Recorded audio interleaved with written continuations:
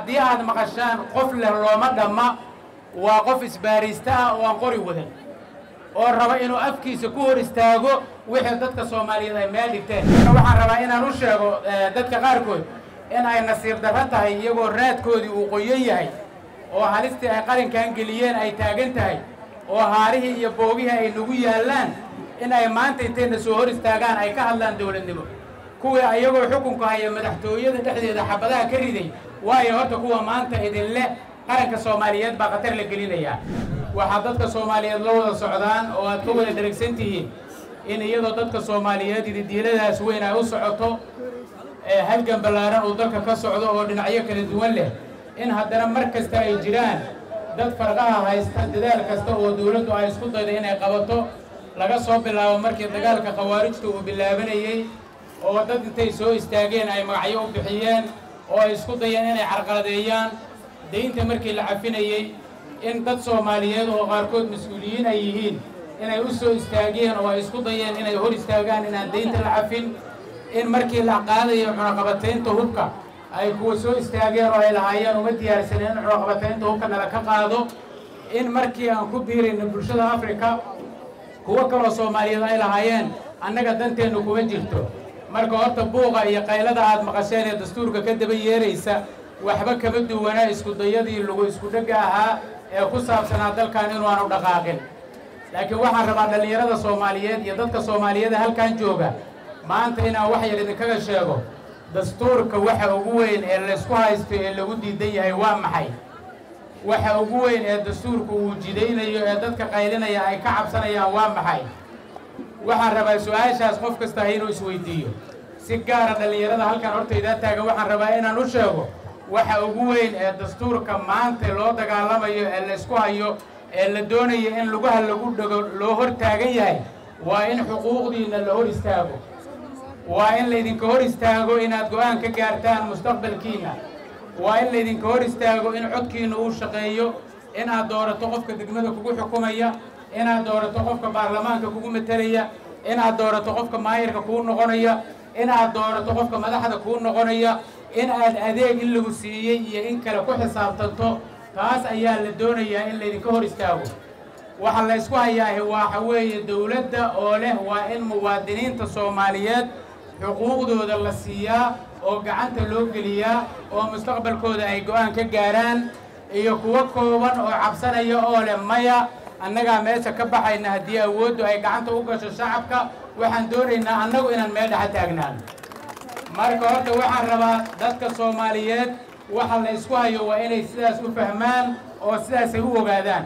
Qodobka labaad ee la ysku hayo waxay tahay dastuurka. Waxaad ka soo daasheen oo dadka soomaaliyeed ay quus ka joogaan khilaafaad siyaasadeed oo aan dhammaanaynin oo mar kasta aad maqashaan dowladda federaalka iyo dowlad goboleed baa is haysta madaxdii saraa is haysata waa la ysku dheggan yahay. Waxaan u malaynaya waxa aad ugu necab tihiin ee maskaxdiina ku soo noqnoqday inay yihiin. Waxa labaad ee dastuurku uu xallinayo waa in dalkan lagu maamulo awoodo sharci ah oo kala astaysan oo qof kasta ay u yaqaano xuquuqda iyo waajibka uu leeyahay. Marka kuwa doonaya inay meel wasaqa ku noolaadaan ayaa raba inay dib noo celiyaan oo meesha ay nagu hayaan. Intaas haddii aan ka gudbo waxaan rabaa inaan ka jawaabo marin habaabin kooban oo dadkaasi ay isticmaalaan. Sababtoo a ma awoodaan inay waxa runtaa sheegaan oo ay yidhaahdaan shacabkan codka u diidannahay. Ma awoodaan inay yidhaahdeen waxaan rabnaa dalkan in timaha la isku dheganaado. Laakiin waxyaabo kaleeto oo xaqiiqada ka fog ayay isku dayaan inay isticmaalaan. Maxaa waxaas ka mid ah? Waxaad maqasheen ereyga caanka ah ee la yidhaahdo looma dhamma. Inay ku celcelinayaan dadkaas waad maqasheen waa soo koobayaa hadalka. Looma dhamma. Ereyga la yidhaahdo waxaan ka samaysanay hay'ado dawladeed oo dadka soomaaliyeed ay u dhan yihiin. Sidaas daraaddeed waa inaad fahamtaan wakhtigii looma dhamma laga wada hadli lahaa hadda ma aha.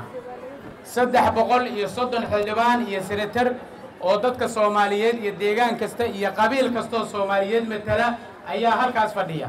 Iyaga ayaa xaq u leh inay go'aan ka gaaraan masiirka dadka soomaaliyeed. Iyagaa matalaya nuucyada dadka soomaaliyeed. Marka haddii aad maqashaan qof leh looma dhamma waa qof isbaaraysta ah oo aan qori wadan. Oo raba inuu afkiisa ku hor istaago wixii dadka soomaaliyeed ay meel dhigteen. Marin habaabintaas waxaa rabaa marka inaad sidaa u fahamtaan oo aan laydinku khaldin oo aad maya tidhaahdaan oo aan isbaaro la ogolaan ereyga labaad oo igu dambeeya waxay tahay waxaad maqashaan kuwale dowladnimadaa burburaysa dowladnimadaa dhibaata ku dhacaysa. Horta marka hore waxaan rabaa inaan u sheego dadka qaarkood in ay nasiir darro tahay iyagoo raadkoodii uu qoyan yahay oo halistii ay qalinkan geliyeen ay taagan tahay oo haarihii iyo boogihii ay nagu yaallaan in ay maanta intayna soo hor istaagaan ay ka hadlaan dowladnimo. Kuwii ayagoo xukunka haya madaxtooyada dhexdeeda xabadaha ka riday waayo horta kuwa maanta idinle qaranka soomaaliyeed baa khatar la gelinayaa ma raba hadalka inaan idinku dheereeyo saaxiibkii dhagac haddaa igu dheggan laakiin waxaan rabaa marin habaabinta nuucaasa inaad ka digtoonaataan qaranka soomaaliyeed halistii ugu weyneed ee laga soo badbaadiyey waxay ahayd kuwii isku dayay inay dadka soomaaliyeed sidii maska madaxa isaga duubaan oo ay yidhaahdaan xoog baan idinku haysanaynaa. Haddii kaleetana khawaarijtaan idiin dhiibaynaa. Oo aad ogtihiin dalkan in dawladdaani ay ka badbaadisay in khawaarijtu ay afgembiso oo ahayd shaqo laga soo shaqeeyey. Isla maanta kuwii ayagoon sanada joogin inay intayna hor yimaadaan iyadoo dhaawacyadii iyo foolxumadii ay geysteen ay taagan tahay ay waxaas nagala hadlaan garaadka dadka soomaaliyeed bay gaf ku tahay. Waxaa ku soo gebagabaynayaa oo muxuu ahaa aan uga baxayaa dalka soomaaliya iyo dowladnimadiisa hay'ado dowladeed oo lagu kalsoon yahay oo mas'uula ayaa u xil saaran wax khatara iyo wax cabsiya iyo wax walo oo laga qabaayo ma jirto. Waxaa ugu sarreeya baarlamaanka jamhuuriyadda halkaas fadhiya ee danta dadka soomaaliyeed iyo matalaadooda u jooga. Waxaa ku xiga xukuumadda federaalka oo fulinta loo xil saaray. Waxaa halkaas fadhiya madaxweynaha jamhuuriyadda oo aad ka warqabtaan markii dalkeenna halis la geliye baddeenna halis la geliye teeramkiisii hore shaqadii uu ka qabtay oo ilaahay uu keenay in baddeenna aan ku soo ceshanno hadda markii laysku daya dalkeenna qaybo ka mida dadaalka uu ka galay aad og tihiin midnimada ummadda soomaaliyeed iyo inay xorriyadasha dagaalka uu ku bixiyo aad og tihiin ku kalsoonaada kuwaas wax aan barwaaqo iyo horumar ahayn oo aad filanaysaan ma jirto.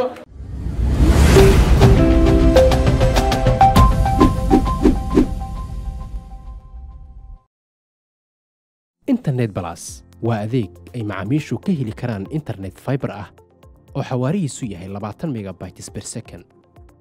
Ayna la socdaan rasiifar ay ku jiraan in ka badan afar kun oo kanaal iyo boqolaal daqiiqado oo ah ku hadal bilaash ah